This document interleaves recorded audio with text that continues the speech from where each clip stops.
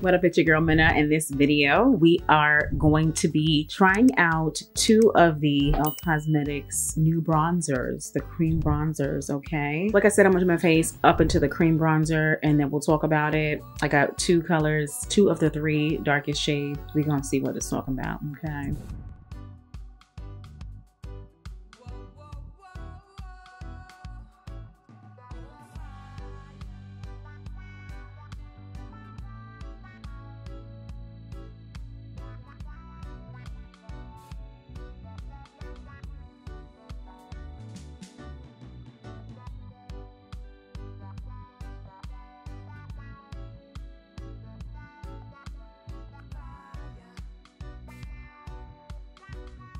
All right, now we reached the point where we are going to contour the face. Okay, let's go. Now, I'm going to start with lightest to darkest, just in case the lightest one isn't dark enough. Okay, this is the e.l.f. Putty Bronzer in the color Sunkissed. One thing I do not like about these products from e.l.f., I can speak to the Putty Eye Primer, the Putty Face Primer, and now this one is that the actual product does not have the name on it. Oh, they did change it. Okay, I stand corrected. It's right there. I was expecting the name to be at the bottom. It's on the side. That is new. If you shop e.l.f., you know that they normally don't have the name. So that is new. That's good. All right, I stand corrected. I like to, I used to use a sponge to apply my, my contour. And I honestly could just still go ahead and do that. Let me go ahead and do that. I like to use a sponge. Although I also like to use a brush. I'll use a sponge today because no, no, I can't. You know why? Because I use the back of my sponge to apply my liquid highlighter. So I need it to be clean and I don't feel like using two sponges. That's too much work.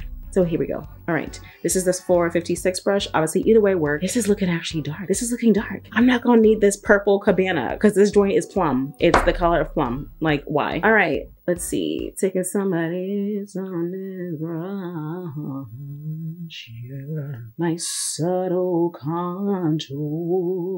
This is looking like a contour on me. I do see a little bit of warmth, but I like it as a contour. I'm enjoying this color so far. Okay, this is really soft. I could definitely go to the next one that I did not get. Oh, I'm irritated. That's the one I should have got. I'm gonna get it though. $6, you can't beat that. I'm gonna order the second one just to have it as an option, you know, because the very last, deepest one, the one that is plum, like the, the color that was really popular at MAC, what's that purple color called? Rebel? Is literally looking like Rebel. I ain't putting it on my face. Now that I have it though, what could I use it for? I could use it as an eyeshadow base if I'm doing a dark purple smoky eye. I could use that. This is really soft on me. If I'm going for a soft contour, this is it. Now, but I do see the warmth, so it's a bronzer. Yeah, it's a bronzer. Now, with this, what I do see myself doing, which is what I will do today, is I will use a contour on top of this. Because this isn't so dark, I'll use Thick Mint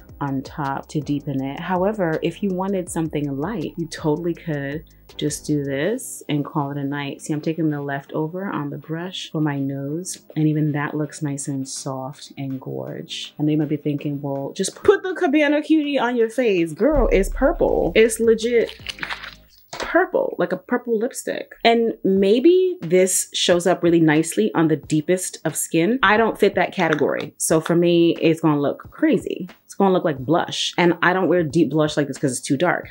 So I would love to see someone really, really deep review that color and see how it looks on them. But for me, it ain't gonna work out. All right, so here is the bronze. This is really soft, like almost undetectable. It almost looks like all I did was highlight. Do you understand? And then this is what it looks like, although I did go in in bronze. I like it. Comment below and let me know what you think about this. And I'm gonna finish blending everything out and then finish my face. I am gonna put on Thick Mint, like I said, from Fenty Beauty. We're gonna see how that layers on it after I set my face and all that. So let's do that.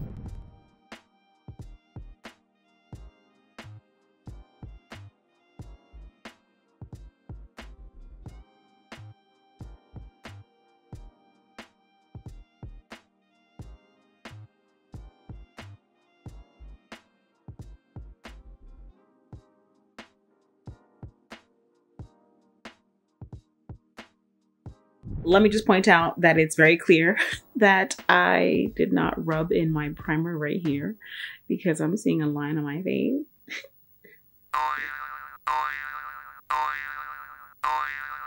yeah, so mm, but we've come this far. There's no way I'm going back. So I just want to point that out. I do see it. I, I have noted that for next time. Yo, the Becca Ever Matte Poreless Primer, it you know, it does the job. It doesn't keep me all the way matte, but it does a good enough job. It's just, if you don't blend it well, you're going to have stuff like this. So take note. Well, let's continue.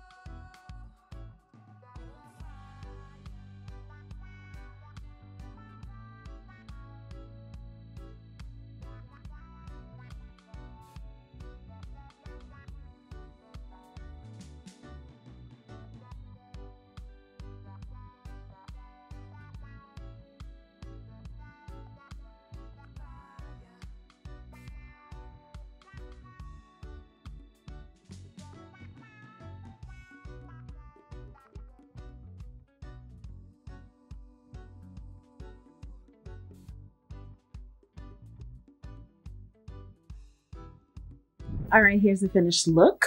What do you think about the bronzer? I did add Thick Mint to it. We talked about that, but I want you to comment below and let me know what you think about this look. I'm not a fan of this Sigma palette only because the green wasn't what I thought. It's looking very blue black. It just wasn't what I wanted, but I made it work, so it was okay. Let me know what you think about this video, about this look, about this ponytail. All of it is going to be linked below. You already know I got you. Thanks for watching, and as always, make sure you subscribe. Bye. Thank you.